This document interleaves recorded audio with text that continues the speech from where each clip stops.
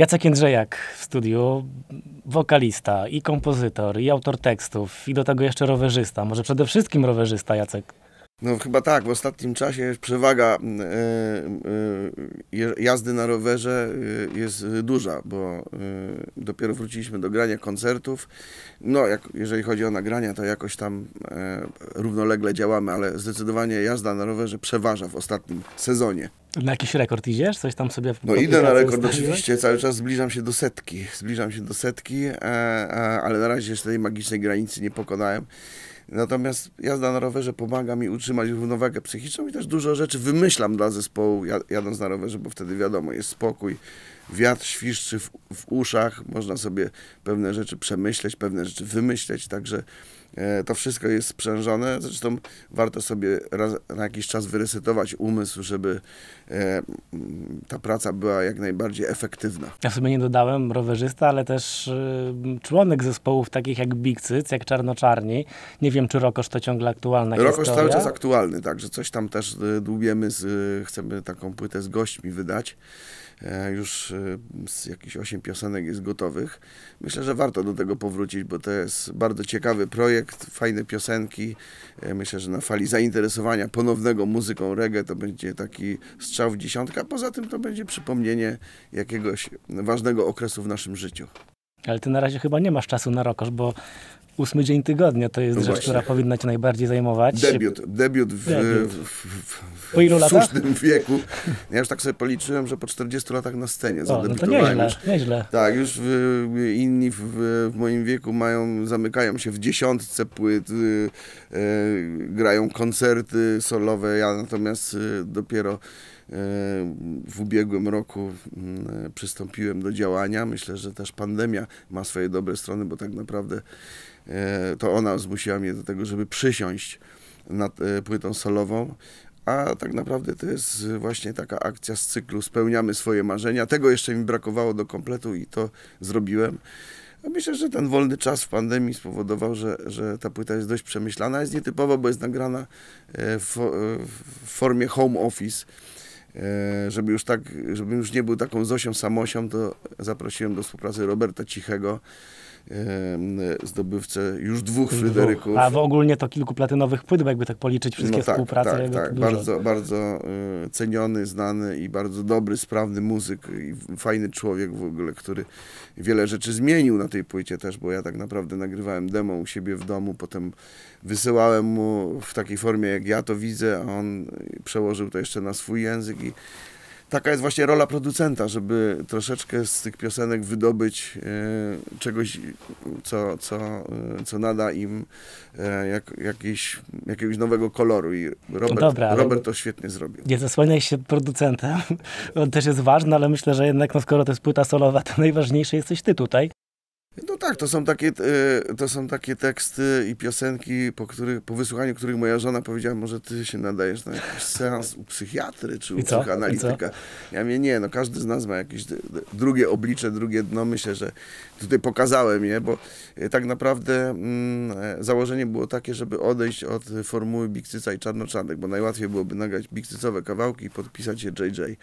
Natomiast ja sobie wymyśliłem, że te wszystkie teksty, które pisałem do szuflady, które nie pasowały ani do jednego, ani do drugiego zespołu, ani do trzeciego, e, że to ogarnę jako moją solową płytę. Myślę, że to jest taki inny Jacek trochę, który e, też na okładce pojawiam się w innej formie, bo e, cała ta okładka... Ale jako rowerzysta. Jako rowerzysta, tak, wczesny, wczesny, wczesny wiek juniorski, a nawet kadecki, ale te wszystkie zdjęcia moje rodzinne, niepublikowane nigdzie w internecie, to tak naprawdę moi synowie mi to podrzucili, że, że to będzie fajne, będzie ciekawe i e, tak naprawdę trochę inna była koncepcja tej okładki początkowa, ale potem stwierdziłem, że może rzeczywiście to jest takie odkrywanie nowego JJ'a e, i te piosenki też takie są, jak mówi, bardzo e, no takie osobiste, bym powiedział, dotykające problemów, które chyba wszyscy mamy. Zresztą mnóstwo osób dzwoniło i się utożsamia E, z, z, tym, e, z tym moim podejściem do życia, bo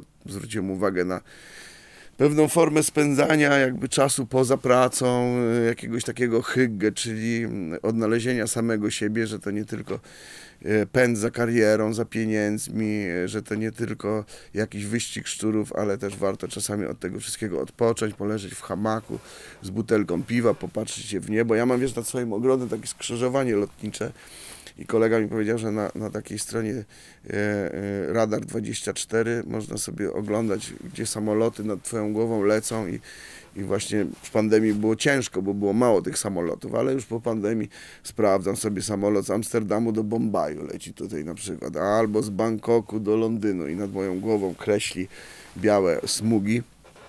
I to też daje e, e, nam coś do myślenia. Myślę, że, że yy, troszkę to życie nam się zmieniło. Gdzieś się zamknęło w obrębie kuchni, jadalni, telefonu, komputera.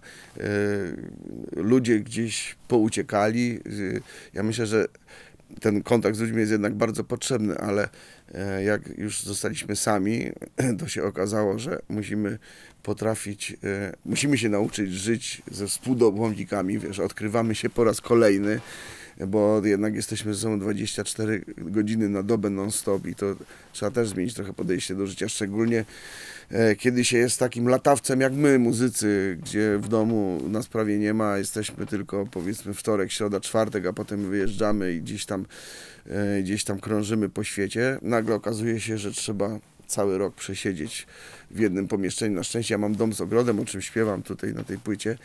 Także trochę tej przestrzeni mam więcej. No ale byli tacy, którzy musieli się zamknąć w 30 metrach kwadratowych i też jakoś musieli się musieli z tym żyć. Dlatego myślę, że to jest takie trochę odkrywanie, odkrywanie siebie na nowo. I rzeczywiście po tych latach wariactwa czasami to jest potrzebne. Każdemu człowiekowi zresztą to jest potrzebne. Myślę, że, że te piosenki pobudzą nas do jakiejś takiej refleksji nad samym sobą, nad rodziną, nad, nad potrzebą bliskości drugiego człowieka i, i e, że ludzie w moim wieku albo i młodzi, bo też młodzi się gdzieś tam pojawili, że, że te teksty jakoś tam im pasują i się utożsamiają z tym. Także myślę, że jakiś taki ten styl życia e, jest również ciekawy. Mhm. Ja tak zastanawiałem się mm, przez pierwsze dni, jak zobaczyłem tę płytę, dlaczego ósmy dzień tygodnia. Gdzieś tam pewnie te drogi do Chłaski prowadziły, zwłaszcza, że jesteś absolwentem filologii No tak, polskiej. to jest takie w, w, moim e, pojęciu, to jest takie, e, ósmy dzień tygodnia są u Chłaski też e, jakby mm, poszukiwanie tego poszukiwanie szczęśliwego tego, miejsca. Poszukiwanie szczęśliwego miejsca i nowy początek. Każdy czeka na ten ósmy dzień tygodnia, który ma zmienić ich życie. Czasami to następuje, czasami nie, ale wierzymy w to, że, że taki przełom w naszym życiu nastąpi i, i właśnie taki jest ten ósmy dzień tygodnia w moim rozumieniu. No, że, w, że... Jakby w wymowie całych, całej płyty, wszystkich tekstów, no to wychodzi właśnie, że ty znalazłeś to miejsce szczęśliwe. Że no to właśnie, jest, znalazłem to mie mie miejsce szczęśliwe i wszystkich będę namawiał do tego, żeby również znaleźli swoje miejsce, moje miejsce w życiu, a ten okres pandemii, kończący się okres pandemii może być tym okresem przełomu i mam nadzieję, że to będzie nowa, szczęśliwsza droga, że powinniśmy być pełni po pozytywnej energii, pozytywnego myślenia. I, I właśnie ten y, przełom właśnie popandemiczny spowoduje, że zmienimy, możemy zmienić radykalnie swoje życie, bo okazuje się, że tak jak pandemia radykalnie zmieniła nasze wcześniejsze życie, tak my możemy zmienić swoje życie tu i teraz i robić coś zupełnie innego, porzucić to, co, y, y, co robiliśmy do tej pory i, i nie wiem, wyjechać na Hawaje. Może teraz to by było ciężko akurat, ale nie wiem, można porzucić pracę w korporacji i zostać kolarzem na przykład, do czego wszystkich zachęcam. Teoretycznie tak. Ale wiesz, e, chciałbym zachęcić wszystkich do szukania swojego miejsca na ziemi i to jest chyba najważniejsze przesłanie i, i ten tytuł też e, jakby mm, o tym mówi, żeby, żeby jednak e, czekać na ten szczęśliwy dzień, a kiedy, kiedy czujemy, że on nadchodzi, żeby go wykorzystać. To wszystko się układa w fajną opowieść, tylko trudno mi trochę zrozumieć, może tobie też po, po kilku miesiącach, czemu postanowiłeś wydać płytę jakby na samą pandemię, bo miałeś chyba świadomość, że ciężko potem będzie ją promować. Yy, ale wiesz co, stwierdziłem, że nie ma co z tym czekać, bo przynajmniej ludzie w pandemii ją wysłuchają. Może będzie gorzej z promocją, a też nie było żadnych e, przesłanek, czy będzie lepiej. To stwierdziłem, że e, jeżeli mnie dopadnie ten koronawirus i umrę na przykład, to te piosenki zostaną na stałe w szufladzie, już ich nie, nie wydobędzie. Dlatego postanowiłem, postanowiłem tę płytę jednak wydać mimo wszystko Oczywiście zastanawiałem się, czy później, czy wcześniej, ale, ale stwierdziłem, że, że to jest też dobry czas, żeby się nad taką płytą pochylić i ją w spokoju posłuchać po prostu, bo to jest chyba potrzebne. Możemy sobie usiąść gdzieś tam w pokoju, nikt nie przeszkadza, nikt nie dzwoni, więc możemy się nad sobą zastanowić i, i e, trudno. Wszyscy mieli utrudnione e, te, te kampanie promocyjne. Ciężko było gdzieś się przebić do mediów, no bo tylko była rozmowa o jednym. I e, wiesz, jednak każdy potrzebuje jakichś nowych doznań, nowych wyzwań i, i, myślę, że mimo wszystko, że cały czas była mowa o koronawirusie, to gdzieś tam ukradkiem patrzyliśmy, czy są jakieś nowości, czy są jakieś premiery, czy są jakieś nowe filmy, czy są jakieś nowe płyty i, i, i tego chyba nam brakowało najbardziej w tym trudnym czasie. Sam powiedziałeś, że taki debiut po 40 latach. A czemu nie zrobiłeś tego nie wiem, na przykład w 96, jak. Gitarą wśród zwierząt był taki popularny, to ten solowy album pewnie by się też sprzedał. No właśnie tak synowi mi powiedzieli, o ojciec, jakbyś ty to nagrał 25 no. lat temu, to byś tu sprzedał ze 100 tysięcy płyt, ale wtedy nie było na to czasu, byliśmy tak zajęci, mieliśmy tyle koncertów i też było ciśnienie, żeby nagrywać nowy materiał, nową Ale już nawet wtedy nie myślałeś? Jak trochę już myślałem, nie? ale na pewno to nie byłaby płyta taka jak ta tutaj, tylko była pewnie bardziej rockowa. Y, natomiast y, tam jednak było ciśnienie, bo ten cykl był krótszy i pra praktycznie co roku wydawało się płytę. My jechaliśmy na trasę, to nawet nie było czasu jej za bardzo wymyślić. Gdzieś tam z gitarami brzdękaliśmy po hotelach, potem szybkie próby i już musieliśmy wchodzić do studia, nagrywać następne, e, następne płyty, bo było ciśnienie ze strony wytwórni płytowej. Poza tym jakieś wyjazdy zagraniczne i tak dalej, i tak dalej. A jeszcze dołożyliście sobie czarno-czarne chyba. Jeszcze dołożyliśmy, cza- tak, jeszcze dołożyliśmy czarno-czarnych później. E, także cały czas coś tam było do roboty i nie było czasu się pochylić nawet nad tym. A a to też byłaby kwestia, e, wiesz, jakby nagrywania tej płyty, bo kiedyś takie nagranie, e, jak tutaj nagrywałem, właściwie dwie, góra trzy osoby tutaj są na płycie, byłoby niemożliwe, bo w tamtych czasach musiałbym wynająć zespół, wynająć muzyków, pojechać do studia, siedzieć tam trzy tygodnie w studiu. Tutaj właściwie w naszych czasach mamy takie techniczne możliwości, że możemy te płyty sobie robić w domu w wolnym czasie i to jest i to jest naprawdę wielki plus naszych czasów, że to wszystko jest w zasięgu ręki. Ja już kiedyś nawet z kolegami o tym rozmawiałem. Kręcenie teledysków, przecież my jechaliśmy na trzy dni, potem facet przez dwa tygodnie to montował i przez tydzień renderował, bo takie komputery były, te komputery były takie wolne, że, że musieliśmy ze dwa miesiące czekać, zanim dostaniemy produkt finalny. Dzisiaj każdy ma kamerę w ręku i w ciągu dwóch, trzech dni i ludzie mają super, młodzi ludzie mają super sprzęt, bo mają prawie że profesjonalny sprzęt filmowy z, z, z jazdami, z, z wszelkimi statywami i tak dalej. I naprawdę nowoczesnymi kamerami czy aparatami. I to można w ciągu dwóch, trzech dni zrobić. Także wystarczy dobry pomysł. Także to wszystko nam się bardzo yy, jakby uprościło. No ale to też jest jakaś tam pułapka, powiedzmy sobie, nie? Bo, bo wiesz, nie każdy ma aż tak dobry sprzęt, żeby produkować ciekawe płyty. A każdemu się wydaje, że ma taki sprzęt, ale to jednak e, to cały czas idzie do przodu i trzeba być na bieżąco, żeby, żeby to było po prostu dobre i żeby to było jadalne, że tak powiem. Ty mówisz o trzech osobach na płycie, no ty, Robert Cicha, ta trzecia osoba to jest Kacper. Tak, mój syn. że jak wcale, no twój syn. E, no zdradziłeś mi w kilku zdaniach, że jednak e, mimo, że to ty jesteś tym wyjadaczem scenicznym, sam mówisz 40 lat, to jednak bez synów byłoby ciężko trochę ciężko orientować byłoby, bo się naprawdę oni dużo mi pomagają e, w takich kwestiach no, tych wszystkich spraw bieżących, to znaczy ogarnięcia mediów społecznościowych. Zresztą oni bardzo się interesują muzyką, podpowiadają mi, co jest teraz na topie, co się robi, jak, jak się powinno promować. Ja bardzo chętnie korzystam z tych uwag, bo y, w dzisiejszych czasach, y, jak się wysiądzie z pociągu to pośpiesznego, to trudno potem już do niego wskoczyć, zostaje się na peronie i koniec. Także y, musimy uczyć się od młodych. Zresztą pomysł stary jak świat, jak Mick Jagger nagrywał swoją solową płytę, to nie zatrudnił e, swojego producenta, który robi płytę Rolling Stones, tylko wziął 28-letniego chłopaka i powiedział zrób to tak, jak ty to widzisz, bo to jest jednak inne spojrzenie, inne urządzenia, inne przestrzenie.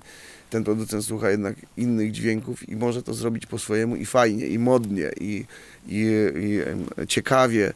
Także, także yy, korzystam z rad synów, a Kacper jest do tego uzdolniony, utalentowany, zaproponowałem mu zaśpiewanie jednej piosenki, dał sobie świetnie radę i teraz czekam, kiedy on mnie na swoją płytę zaprosi. Mam nadzieję, że kiedyś ją nagra. Ale no właśnie, powiedz mi o tej e, różnicy pokoleń. E, gdy nagrywaliście pierwsze płyty z Bikcycem, a jak nagrywałeś płytę solową, to jak z twojej perspektywy przy opowieści syna ten świat się bardzo zmienił? Co cię tak bardzo szokowało, albo czym byłeś zaskoczony, że coś się dzieje, czego kiedyś w ogóle nie było, albo nie było prawa No, istnieć? no przede wszystkim tymi wszystkimi streamingami na przykład, albo e, no kiedyś nie było takiej możliwości, żeby coś tam przesyłać sobie, jakieś pliki, wszystko się nagrywało tu i teraz w studiu i to e, na, na, na takim sprzęcie dość wolnym, to wszystko długo trwało. Dzisiaj to tak naprawdę można mieszkać na różnych kontynentach i nagrywać w, w czasie jeden do jeden płytę, czy tam na jakiś koncert grać na żywo. To jest dla mnie szokujące, że, że y, jakiś gość zaśpiewał, to nawet tam w przypadku Oziego Osborna było coś takiego, że gdzieś tam nagrywał płytę z terapii pytali, a ten Osborn fajny zamówił coś, to myśmy go nawet nie widzieli. On po prostu nagrał, przysłał, zmiksowaliśmy, dał zgodę, że można to upowszechniać. I to jest, no to, to jest fajne z drugiej strony, bo też masz bezpośredni kontakt z artystą poprzez media społecznościowe. Nie musisz przebijać się przez mur tych wszystkich menadżerów, ludzi, którzy pośredniczą. Jeżeli z kimś masz bezpośredni kontakt, namawiasz go, on to robi po prostu. Albo robicie to wspólnie, tak jak ja to z Robertem robię. Ustalaliśmy jakieś rzeczy i tak dalej. E, po, poza tym, no, e, wydaje mi się, że e, to jest też szokujące z punktu widzenia muzyka nagrywającego w latach 90., że sorry, że to powiem, ale coraz mniejsze znaczenie radia e, jest w, w promocji w, i telewizji, w Jak promowaniu, tak powiedzieć? w, w promowaniu artystów, ale to też mi synowie uzmysłowili, bo mówią, a słyszałeś tego, a słyszałeś tego, a ja mówię, no nie słyszałem tego, nie ma w radio. Patrzę, 20 milionów wyświetleń, 100 milionów wyświetleń, mówię, dlaczego tego nie ma? No, takie są prawa rynku, ludzie obserwują y, i skanują internet i tam się kreują nowe gwiazdy, nie telewizja, nie radio. Yy, telewizja się raczej pod, po- podpiera, jak widzimy ostatnie festiwale w Opolu na przykład, podpiera się starymi gwiazdami, ale nic nie, mo, nie potrafi wykreować, niestety. Internet kreuje i internet nie oszuka po prostu. Jak ktoś jest nieprawdziwy, to internet go wypluje natychmiast i nie ma takiej możliwości, żeby wcisnąć komuś na siłę, nawet przy jakiejś mega promocji kit. I, i to, to jest super, bo, bo y, możemy siedząc w domu stworzyć coś fajnego i przez mnóstwo z tych wszystkich youtuberów, ludzi, którzy prowadzą swoje kanały, mają wielką, naprawdę wielką publiczność, wielką widownię, oni są zdani, wiesz, ja ich nie znam, ale, ale mają swoich wiernych fanów, li, liczy się to w milionach. I, i to jest fajne, że mając fajne pomysły, bo tutaj dochodzimy do tego, że jednak najważniejsza w tym wszystkim jest głowa. Najważniejsza w tym wszystkim jest głowa. Mając fajne pomysły i mając coś do powiedzenia, możesz to wykreować we własnym domu i, i wszyscy cię będą słuchać, wszyscy cię będą oglądać. I taka jest różnica między jakimś muzykiem. Nawet wczoraj miałem taką dyskusję. Muzyk z filharmonii, ja, no ja tak nie będę grał nigdy jak muzyk z filharmonii, bo yy, ma technikę, świetnie przebiera rączkami i tak dalej, ale może nie mieć nic do powiedzenia. To jest też pytanie właśnie o Voice of Poland, o te wszystkie e, konkursy piosenkarskie.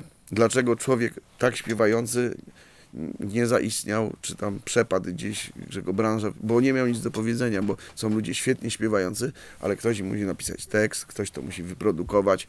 Może to, to nie jest to, co on by chciał robić, ale producent narzuca mu jakiś e, swój styl, nie jego język i po prostu przepada, nie? Zresztą zauważyłem, że w tych czasach, i to też jest odpowiedź na to pytanie, co, o, które, o, któ- o którym mówisz, o te różnice e, pokoleniowe, że kiedyś jednak e, zespoły się liczyły, dzisiaj zespołów jest coraz mniej.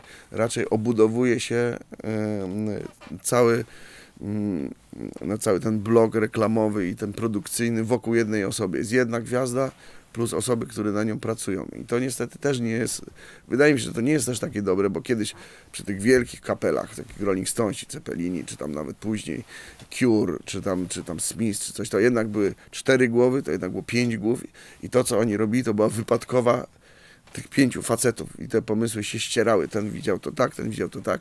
W sumie otrzymywaliśmy super jakiś produkt, czy super płytę, czy super piosenkę, która jest wypadkową tych pięciu, czterech facetów, czy trzech facetów, a tutaj niestety jest jedna osoba, to jest wszystko obudowane muzykami, produkcją i jest dwóch, trzech producentów, którzy właściwie oni decydują o tym, jaki, jaka ma być ta płyta, co artysta chce powiedzieć. Zresztą to mnie też szokuje, takie trochę sztuczne przygotowanie artystów do e, wypromowania swojej płyty. Oni są nauczeni po prostu, co mają mówić i to wszystko jest pod Instagram, pod Facebooka, pod wszystkie media społecznościowe. No często jest tak, że nie mają zbyt wiele do powiedzenia, ale ci wszyscy menadżerowie mają algorytmy, które Yy, mówią im, co w danym momencie trzeba powiedzieć, co trzeba zrobić, żeby to wszystko szło do przodu. Kiedyś tak, to, był to bardziej na żywioł. Syn cię przygotowywał do wywiadów, tu mówisz tak, tu mówisz inaczej. Nie, a... nie, nie, no, aż tak nie, aż tak nie. Nie no, dałeś Ale podpowiada, podpowiada czasami, ej, tutaj za długi post, za długi, nie będą czytać, nie. No dobra, to skrócę, nie. Wiesz, także tak, aż tak bardzo nie, ale, ale myślę, że w przypadku tych dużych gwiazd tak właśnie to funkcjonuje, że, że są na podstawie algorytmu, że są niedawno oglądałem taki ciekawy film, no Planet chyba to było, o algorytmach, jak to nami sterują wszędzie, na Netflixie i e, właśnie w, w całym przemyśle płytowym, że podsuwają podobne rzeczy i to tak zawsze było. No.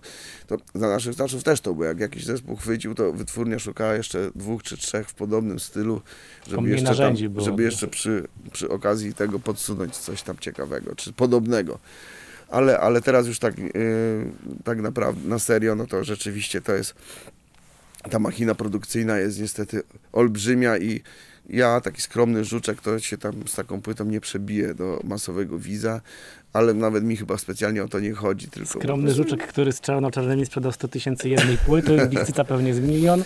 No tak, ale tu, jak mówię, to jest taka skromna produkcja, która myślę, że jak ma trafić na swojego e, słuchacza, to będę szczęśliwy, że ktoś to kupi i posłucha raczej się na jakiś tam wielki sukces komercyjny nie, mm, nie nastawiam. Zresztą nawet nie grałem koncertów, y, bo, bo y, musiałbym skompletować zespół, a nie ma zapotrzebowania, bo jest taki czas, a nie inny, może, może kiedyś. Drugą płytę już przygotowuję, chciałem no właśnie powiedzieć. chciałem już cię zapytać. Tak, już drugą płytę, już nawet cztery piosenki są nagrane. Także będę to kontynuował, bo też fajnie to mnie stymuluje i e, e, właśnie y, moi synowie mi tam na, na, mówili na ten Garage Band, to jest taki prosty program studyjny e, w Apple'u i e, nauczyłem się go obsługiwać i to też jest, wiesz, to też jest plus, bo jak się człowiek uczy nowych rzeczy, to nie starzeje.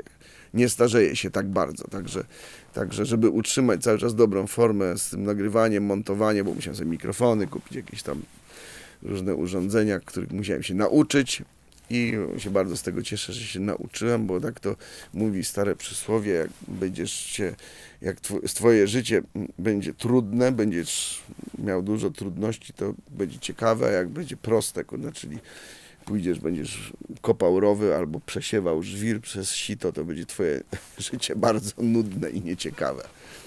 No to, to twoje na pewno mega ciekawe w kontekście tego wszystkiego, co się wydarzyło na scenach. Ja sięgnę do takiego cytatu, e, z, z jednego z twoich wywiadów y, przy okazji Big Cyca i to było już dawno, kiedy mm. mówiłeś, że granie w takim zespole jak Big Cyc y, wymaga czasami wielkiej odwagi, szczególnie wtedy, gdy nie jesteś już studentem, masz rodzinę, a twoi koledzy są prezesami w dużych firmach, musisz liczyć się z tym, że do końca życia będą uważali cię za frikia.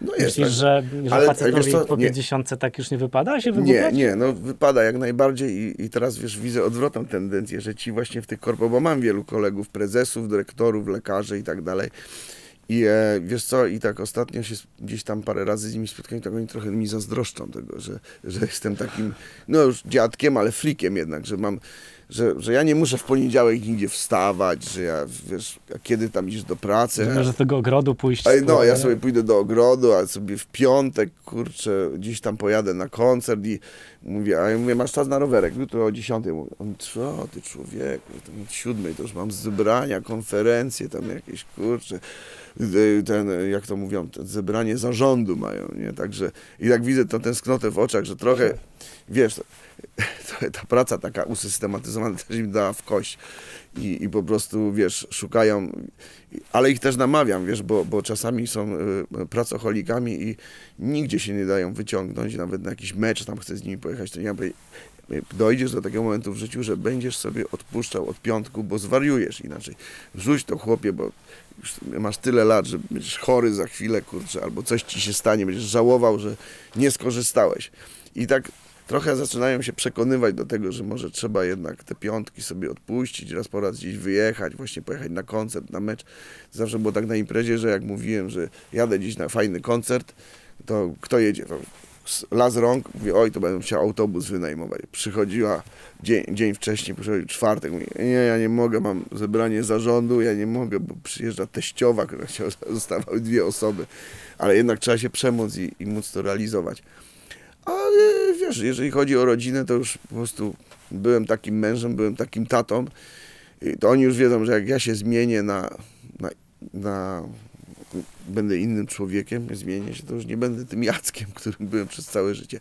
Więc nie, nie będę im dawał szansy, żeby, żeby odkrywali nowego Jacka w garniturze i w, w golfiku, kurczę. Zostanę jednak tym frikiem. To mi chyba pasuje.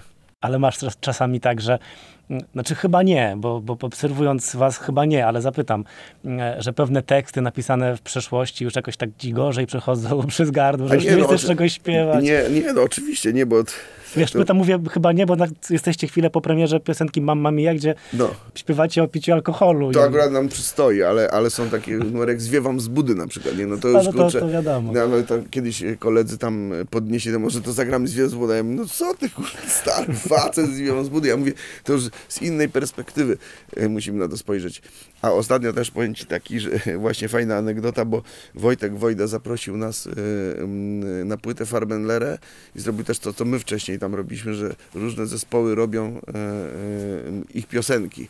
Czy, czy, piosenki tego artysty, który tam ma lecie, bo miałem tam 35-lecie. No i tak, to wybierzcie sobie coś, może to, może to, może tamto, może maturę. A ja mówię, a może maturę, może weźmiemy maturę, ale ja mówię, wiesz co, ale musimy zmienić tekst, bo my z tej drugiej strony teraz będziemy, wiesz, na tą maturę patrzeć, bo nasze żony są nauczycielkami, to one egzaminują teraz tych młodych, to to zrobimy może maturę, ale zrobimy to z perspektywy pedagoga i wykładowcy, nie z perspektywy tego młodego chłopaka, bo nam już nie przystoją. A wiesz, to może nawet być ciekawe, nie? I tak trochę zrobiliśmy właśnie z perspektywy tej innej ale, ale to tak trochę jest, że no wi wiadomo, nie, no już jakby, młodość się rządzi swoimi prawami, ale piosenkę o nieustannej potrzebie orgazmu też gramy, bo jak gramy te trasy z płytą pierwszą, to wszystko musi być zagrane i jakoś tam nikt nie narzeka. Ale zwiewam z budy już nie, no to się nie godzę. Ale generalnie to gdyby tak się uprzeć, to moglibyście zrobić cykl koncertów, e, gdzie Big Cycem opowiadalibyście historię Polski, nie? No to tak trochę jest, nie? To jest taka trochę historia Polski w piosence, że tak powiem. Już to nawet mówiłem gdzieś w wywiadzie, że jednak te wszystkie kolejne etapy przejściowe i te wszystkie zmiany opisywaliśmy. I, I, czasami to już jest nieczytelne, bo wiesz, kto tam pamięta Renatę Beger, nie? Na przykład, bo gdzieś tam mhm. operujemy nazwiskami. Wiesz, teraz jak piszemy te piosenki, to jednak staramy się, e, e, wiesz, mniej tych nazwisk używać, bo teraz to tempo jest szybsze za chwilę jest ministrem, facet za chwilę go nie ma i nikt nie wie, kto to był. Za pięć lat to już go nikt nie pamięta, ale wiele jest takich piosenek, jak Berlin Zachodni na przykład, wiesz, był, go nie ma, to się interesują, co, co się stało z tym Berlinem Zachodnim, że go nie ma. Moherowe berety, a co to właśnie moherowe berety, gdzieś tam w historii zostanie. Także tak jakieś tam piosenki. No tak, tak do twierdzy można by mniej więcej. E, no, do twierdzy można, tak, cały czas coś tam, gdzieś tam jakieś te polityczne Yy, odniesienia nasze funkcjonują, ale to też zmuszają do myślenia nawet ta płyta Zadzwonicie po milicję fajna, bo coverowa, tam jest, jest tylko właściwie jedna nasza piosenka Dziki Kraj, która tam, ja kiedyś ją z taką kapelą Współczynnik Inteligencji wykonywałem. Yy, też nawet ktoś tam napisał, że na podstawie tego zrobił lekcję, jakąś historię na podstawie tych piosenek. Ja mówię, tak sobie pomyślałem, że może rzeczywiście tymi piosenkami do młodzieży, czy do młodego człowieka łatwiej się dotrze niż jakieś tam ględzenie o zomowcach, bo oni, dla nich to jest tak jak dla nas druga wojna światowa albo pierwsza wojna światowa, nie, nie wiedzą o co chodzi, ale właśnie piosenki mogą ich trochę zainteresować, że jednak przeczytają coś o tym, jakąś książkę, czy tam gdzieś do jakichś starych materiałów wrócą, bo ich to zainteresuje. Właśnie jakaś taka piosenka, no to, to jest, wiesz, odświeżanie i tak. Zresztą mnóstwo jest to Laocze też zrobiło piosenki powstańcze, to się tak zaczęli interesować drugą wojną, powstaniem. To jest, myślę, że to jest jakiś fajny taki haczyk, na który można młodzież złowić, że coś tam, coś tam jeszcze lizną tej historii. Wspomniałeś o tej płycie z Farbenlera, ja sobie od razu skojarzyłem z płytą na 30 urodziny Cyza, tam no. mnóstwo gości. A żałujesz piosenki Lecę w dół, gdzie gościem był Paweł Kukis? to też była ciekawa historia, bo bo Paweł Kokizi był wytypowany do piosenki Szambo i Perfumeria i to też świadczy o nim. On mówi, ale zadzwonił do mnie, bo jakoś tak było, że nagrywaliśmy w Izabelinie i e, my musieliśmy wyjechać, a on akurat w tym czasie był w Warszawie i mówi, to mogę przyjechać, nagrać, tam realizator wszystko wie, nagrasz wokal, wiedział co i jak. I tak przesłuchał tą piosenkę do końca, mówi, dzwoni do mnie, mówi, Jaca, no ale ja nie mogę tej piosenki nagrać, bo tam jest krytyka Platformy Obywatelskiej. A ja jestem związany z Platformą Obywatelską, bo byłem ze Schetyną na studiach i mu obiecałem, że nigdy nie będę nic na nich mówił. A ja mówię, no ale Paweł, no jesteś artystą, kurde, czy to tam takie jakieś tam nawet lajtowe, tam nie było nic ciężkiego, lajtowe. Tam platfusy było słowo, platfusy. Ale nie, ja nawet o tych platfusach nie mogę, kurczę, myśleć, a co dopiero śpiewać. Ja muszę coś innego sobie wziąć. No i tam e, zrobił sobie research, ja mówię, no to może to lecę w dół, bo to jest takie apolityczne. Ja mówię, no dobra, myślałem, że chcesz polityczną, to ci wyznaczy, no nie, no nie, nie, no już nie, nie, nie mogę, nie mogę. No i zaśpiewał Lecę w dół, a potem kręciliśmy klipa, to przyjechał, tam coś, jakoś tam się nie dogadaliśmy. Miał być, nie przyjechał, przyjechała ekipa, w końcu się wkurzyliśmy i, i i nagraliśmy ten klip bez niego, a fajny klip i super, super e, w hotelu gdzieś tam kręciliśmy, super pomysł, na jakichś tam, na jakichś tam linkach fruwaliśmy. Paweł nie przyjechał, nawet się specjalnie nie wytłumaczył, tylko jeszcze nas wyzwał przez telefon, że tam nie ten termin, nie ma czasu, coś tam. Nie, dobra, krzyż na drogę. Także, także, ale piosenka została. Czyli generalnie nie wiem, czy żałujesz czy nie, nie? Nie, żałuję, nie żałuję. Czy to był inny Paweł tak naprawdę, nie? To, to już teraz ludzie potwierdzają, to nie jest ten Paweł już, którego my znaliśmy z piersi. To jest, to jest polityk po prostu i, mhm. i politykiem zostanie. On chce zostać politykiem, bo myślę, że powrotu na scenę e, już nie ma. Zresztą ja już nie będę nic mówił na ten temat, bo wszyscy wiedzą, jakie jest nasze zdanie i nasza opinia i większość ją, ją e, podziela. E, już mu nie chcę dowalać, ale po prostu, mm, wiesz, dla mnie już to jest jego wybór, jego droga, on będzie chciał być politykiem i, i, i niestety będzie to, co zawsze o tym mówił, że, że nigdy nie chciałby w tym świecie żyć i, i nigdy z tym światem się nie utożsamiał, no niestety wpadł po, same, po samą szyję i już się z tego nie wydobędzie. No i gorsze, że on takie rzeczy w Jarocinie mówił, który miał być przecież festiwalem no właśnie, wolności i tak no dalej. No właśnie, no właśnie I, i wszystko mamy nagrane. To nie tak, że ktoś komuś powiedział, pewna pani drugiej pani, tylko wszystko jest mhm. nagrane, wszystko jest zapisane no i niestety się z tego nie wytłumaczy. A jak wiadomo, wiesz, w tym kraju teraz jest tak, że ze wszystkiego się można wytłumaczyć. Znaczy, panie, znaczy, w tym kraju dzisiaj już nie trzeba się tłumaczyć. No właśnie, panie, to nie moja ręka, to nie ja, to mój, mój awatar to tak. mówił. Także a, krzyż mu na drogę, niech sobie tam robi swoje plany, yy, yy, niech sobie tam realizuje i, i, i trudno pewnie pewnie tęskni za muzyką, bo nawet ktoś mnie pytał, a po nim to wszystko spływa, ale to nie jest tak. Jak go tak wzięli wszyscy na widelec, to myślę, że jednak to przeżył, bo ja tak trochę wrażliwość, tej wrażliwości artysty na pewno ma i, i to nie jest tak, że, że wszystko po tobie spływa, tylko gdzieś tam się zamykasz w odosobnieniu i musisz to przetrawić.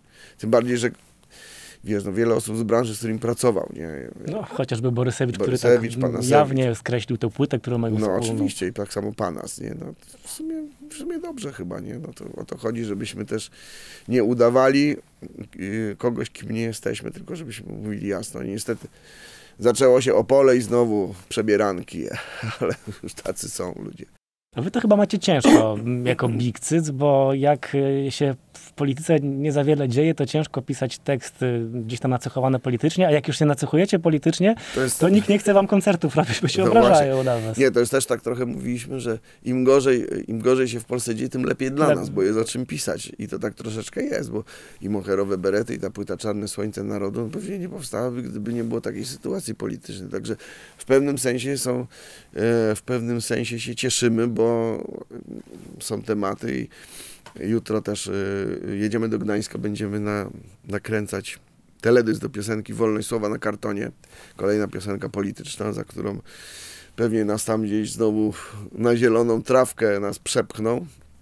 E, Mamy też piosenkę o, o, o tutaj waszym krajanie, o, o ministrze Czarnku, także przygotowujemy, wiesz, się do mocnego Czyli uderzenia. robicie wszystko, żeby jednak być w wiadomościach. Tak, tak, robimy wszystko, że... No jedyna możliwość promocyjna, bo jak radia nie chcą grać roka, bo to jest, jak sam mówiłeś, dla starych ludzi, to może chociaż wiadomości i fakty nas Ale pokażą. to nie, że ja, że dla starych ludzi, że tak inni uważają. Nie, że to inni uważają, tak, że to jest opinia e, jakichś Z osób z góry, nie, ale, ale faktycznie, no wiesz, to trochę to się wiąże jakby z tą solą rock'n'rolla, że, że bez jakiegoś protestu e, nie ma rock'n'rolla, staje się miałki, to trochę też mówiłem o tych tekstach m, właściwie polskich kapel rockowych, że trochę na tym ubolewam, że, że to są często piosenki meteorologiczne, a można by było coś ważnego powiedzieć. No dużo jest fajnych tekstów też, nie, nie powiem.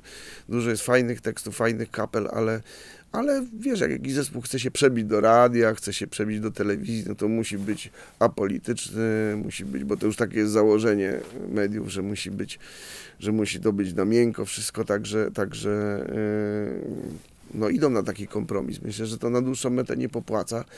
Bo jak sam widzisz, wiesz, dużo tych kapel, które nie funkcjonują w radiach, jednak grają koncerty i, i, e, i fajnie sobie radzą, dobrze sobie radzą i trzymamy kciuki za te wszystkie kapele, które chcą mówić o prawdzie, a, a nie zawsze im się to udaje na forum publicznym. Jeszcze na koniec zahaczę, o- zahaczę o czarnoczarnych, żeby tak już No przelecieć tak szybciutko.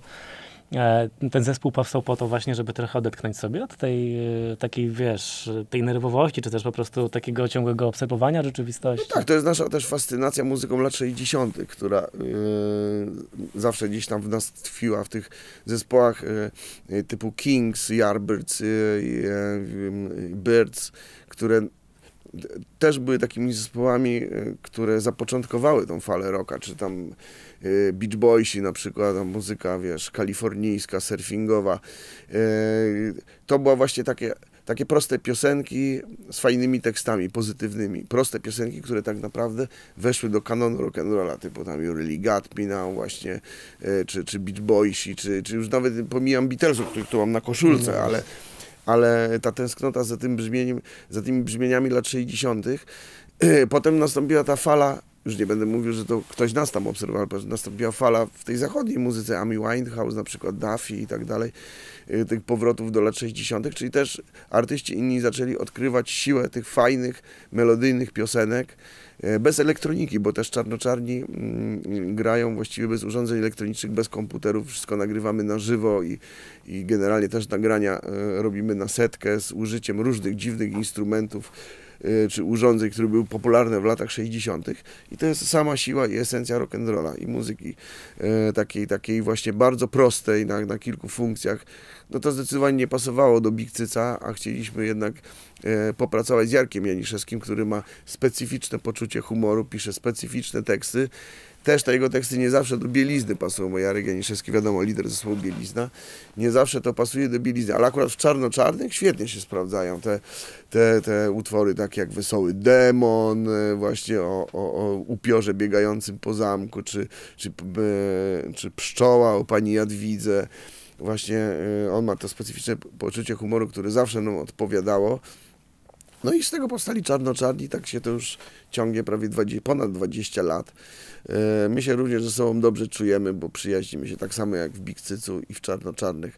E, To jest świetny taki kumpelski przelot i to też trzyma te zespoły, to muszę powiedzieć, że, że jednak e, bardzo mi jest smutne, jeżeli te wielkie klasyczne zespoły rozbijają się na dwa składy, na trzy składy. Każdy sobie rzepkę skrobie, to naprawdę nie jest fajne i, i myślę, że siła zespołu, bo to się nazywa zespół, to jest band, czyli to jest siła, tak jak mówiłem, siła czterech czy pięciu facetów, którzy są od lat razem. I myślę, że, że, że yy, i czarno-czarni i bigcy tą siłę w sobie mają. No w czarnoczarnych na przykład mnie rozwala z tych francuskiej miłości potwór Yeti, który... O, potwór spaghetti, spaghetti, pokochał Yeti. pokochał, Pokochał no, to Yeti, po tak. prostu coś niezwykłego. E, Jacek, ogromne dzięki. Ja E, również dziękuję że za w końcu- zaproszenie, bo się to przygotowywałem parę lat do przyjazdu tak. i, i udało się wreszcie. No teraz kiedy przyjedziesz? Za parę kolejnych. chciałbym za pół roku, może z Bigcycem gdzieś zagramy. To wpadajcie, Trzeba wiesz, że zawsze po- mile Dawno nie byliśmy w Lublinie. Dawno nie graliśmy w Lublinie. Bardzo dawno. Ale dużo, dużo osób się dopytuje. Także może się uda. Zobaczymy, jak sprzyjające wiatry będą się, żagiel ustawi dobrze, to, to przyjedziemy do Lubina na koncert. To oczywiście czuł się zaproszony także do tego studia po raz kolejny. Bardzo bo, dziękuję. Bo rozmowa jeszcze gdzieś tam myśleliśmy w połowie, myślę. E, Jacek Jędrzejak, JJ, autor płyty Ósmy Dzień Tygodnia, wokalista zespołu Big Cyt, basista Czarnoczarnych, e, muzyk Rokosza, e, producent pewnie wielu rzeczy, których jeszcze nie usłyszeliśmy. Bardzo dziękuję. Bardzo polecam ten album, jeśli chcecie wiedzieć, czego Jacek szuka, szuka pod pachą, to tutaj jest odpowiedź. No, przy okazji tego, tego, tej wizyty dowiedziałem się, że do radia też się trzeba ubrać, bo, bo nie tylko radio gdzieś się słyszy, ale gdzieś też Człowiek ogląda. się uczy całe życie. Dzięki ogromne. Dziękuję bardzo.